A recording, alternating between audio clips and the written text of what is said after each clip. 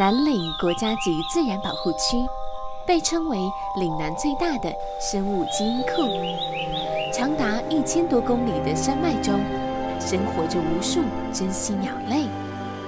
它们有的穿行在繁枝密叶间觅食，有的飞翔在空中捕猎。一种身着盛装、被称为林中仙子的神鸟，生活于此。民间口中的神鸟，它们三五成群，来无影，去无踪地游走在森林里。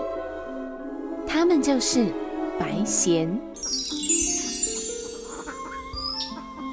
白鹇与家鸡同属雉科，它们体型大，脚长而有力，善于在森林地面行走觅食，俗称走禽。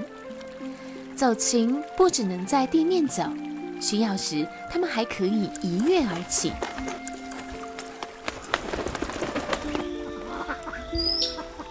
雉类为了躲避掠食动物。大部分身披棕色斑纹羽毛，然而傲气的雄白鹇恰恰相反，它们身形健壮，身披雪白羽毛，脸颊还带着夸张的红色脸谱。相比之下，需要担负孵蛋与育雏使命的雌白鹇朴素许多。它们身上棕色的羽毛与枯枝落叶极为相似。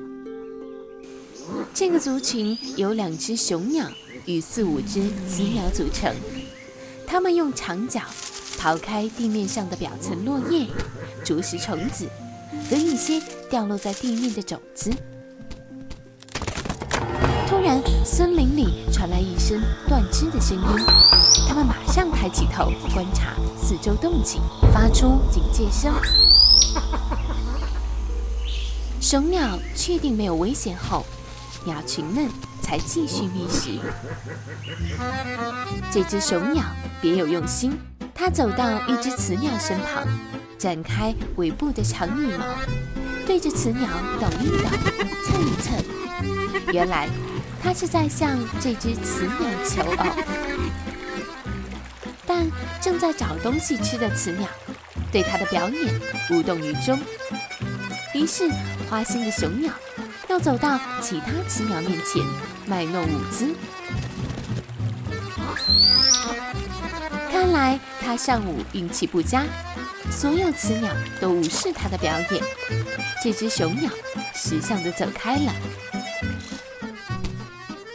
或者先吃几口嫩叶填下肚子，为下半场的求偶戏做好准备。